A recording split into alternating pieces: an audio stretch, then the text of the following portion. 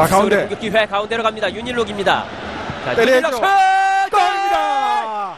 윤일록. 자, 돌파에 들어가면서 기술적으로 본인이 슈팅 빠르게 안쪽으로 파고들었거든요. 네. 지금 계속 수비가 뒤로 물러나고만 있었고 각도를 너무 열어줬어요. 장면을 만들고 있는데요. 자, 열렸어요.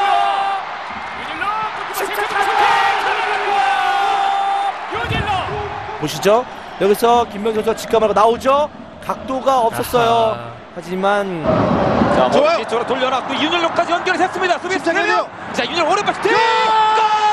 네. 네. 지금 김현승 선수 백에서 상당히 잘해줬고 어 윤열 선수 세컨드 볼에 전혀 놓치지 않고 집중해서 어 멀리 서울까지 또 자, 가운데 밀어주고 잡았습니다. 슛! 아, 걸렸어요 추가골 또 교체 들어간 이수식 골키퍼 입장에서는 저 가까운 약 10m 정도 되는 거리에서 본인 위치 들어갑니다. 에벨톤. 자, 크로스! 자, 뒤쪽에 선수가 있으면 슛!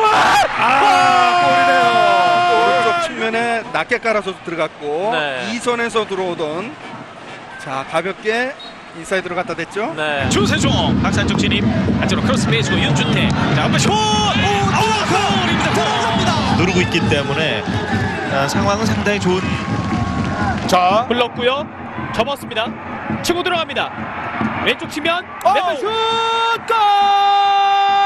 이 볼을 어떻게 플레이를 하겠다 이미 머릿속에 어느 정도 담고 있었던 것 같고요. 예. 이 상황에서는 골키퍼의 포지션이 굉장히 나와 있는 것을 또 봤기 때문에 아주 침착한 잘렸습니다. 박스 안쪽 슈팅! 들어갔어요! 슈퍼골! 조찬호가 살려줬고 박스 안쪽에서 지참는 슈팅.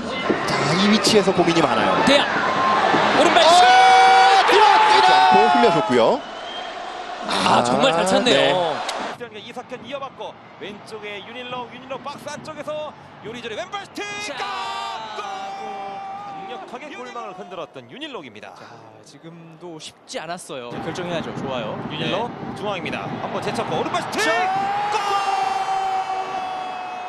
마우리ኞ가 중앙으로 밀어줬는데 한 명을 아, 완벽히 네. 제쳐냈고 오른발 슈팅으로